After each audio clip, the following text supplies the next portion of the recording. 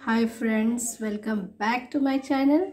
आज आपण कोथिंबीर वडे शि शिकणार आहोत. तर कोथिंबीर वड्यांसाठी इथे मी बारीक चिरलेली कोथिंबीर अशी हिरवीगार घेतली आहे. छान निस नीट करून घेतली आहे आणि मस्त अशी चिरून घेतलेली आहे बारीक अशी. आता इथे आणखी लागणारं जे साहित्य आहे ते पाहूया. इथे मी मीठ घेतलेलं आहे. हळद आहे लाल तिखट. ओवा घेतलेला आहे. थोडासा चोळून घेतलेला आहे. ते पांढरे तीळ घेतलेले आहेत. आणि हे धने धनेपूड आहे हळद आहे आणि जिरेची पूड आहे ते इथे थोडेसे पांढरे तीळ पण घेतलेले आहेत. आणि बेसन. इथे हे सगळे एकत्र करून ठेवलेले आहेत. आता यात आपण जी आपली बारीक चिरलेली कोथिंबीर आहे ती घालूया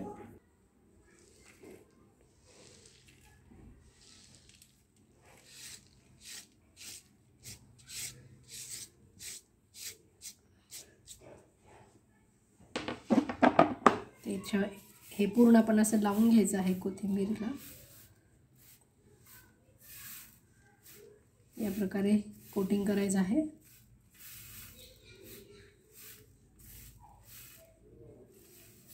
खूप चविष्ट अशी ही रेसिपी आहे रुचकर. मस्त एकदम टेस्टी होतात. तुम्ही जरूर करून पहा. ते पाहू शकता. मी सगळा कोथिंबीरला व्यवस्थित असं कोटिंग करून घेतलेलं आहे. आपल्या जे पण जिन्नस घेतलेलं होतं त्याचं.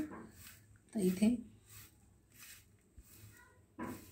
जर तुम्ही कोथिंबीर अशी निवडून धुवून घेतली असेल किंवा त्यात जरा पाणी असेल तर तुम्ही पाणी बेतानेच वापरा. इथे ही कोथिंबीर छान मी हे केलेली आहे. पाणी निथरून गेलेलं आहे यातलं. तरी त्यामुळे मी इथे पाण्याचा वापर करणार आहे थोडाफार. इथे मी पूर्ण मिक्स करून घेतलं आहे कोथिंबीरला फ्लेवर करून घेतलेला आहे त्याचा पूर्ण. आता यात मी बेसन टाकत आहे. या प्रकारे बेसन पण पूर्ण कोट करून घेऊया कोथिंबीरवर कोथिंबीरवरती. याप्रमाणे असे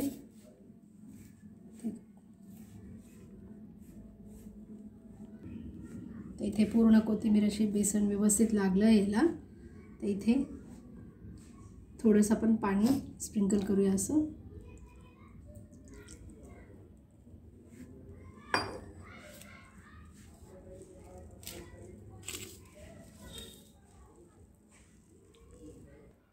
आणखी थोडं मी बेसन घातलेलं आहे यात.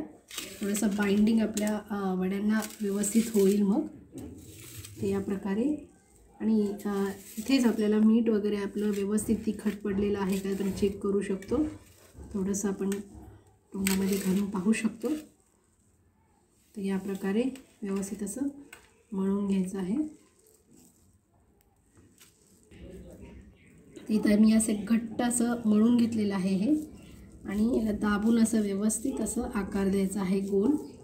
किंवा आपल्याला हवा मी असा जो गोळा तयार करून घेतला आहे आणि गोल असा चपटा करून घेतला आहे त्याला.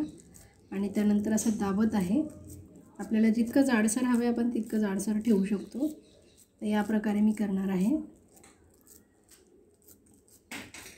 याला आपण चौकोनही आकार देऊ शकतो. या प्रकारे. ते इव्हनली हे पूर्ण स्प्रेड करून घ्यायचं आहे आपल्याला. या प्रकारे.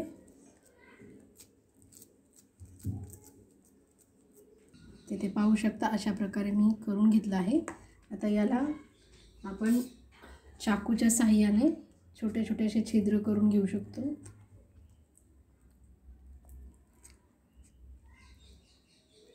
या प्रकारे.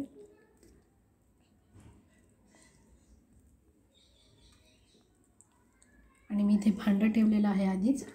लिंबू टाकलेला आहे त्यामध्ये पाणी टाकलेलं आहे. तर त्याम त्यावरती आता आपण ही चाळणी ठेवूया. त्यापूर्वी त्यापूर्वी आपण हे जे पांढरे तीळ जे घेतले होते आपण ते याच्यावरती असे स्प्रेड करूया.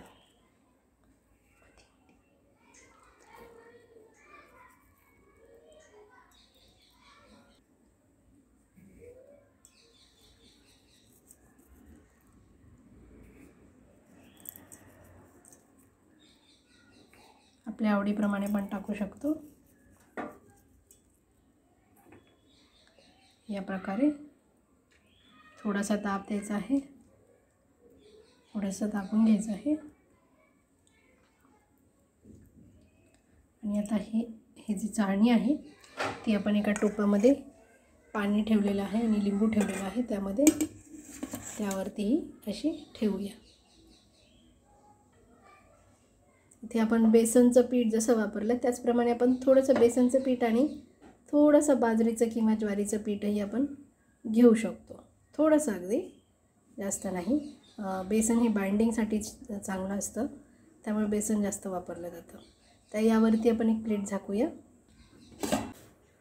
उकडल्यानंतर तर इथे आपण चाकूच्या साह्याने पाहणार आहोत.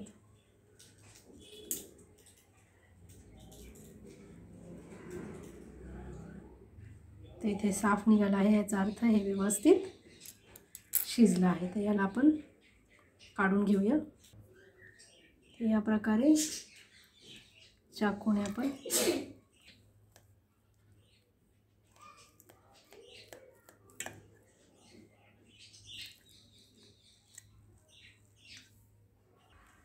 ते पहा. मस्तपैकी आपले वड्या इथे कोथिंबीर वड्या अशा तयार आहेत. पहा किती सुंदर अशा झालेल्या आहेत. पाहू शकता. या प्रकारे. तर याला आपण छान तळून घेऊया. एक एक वड्या अशा तळून घ्यायचं आहे.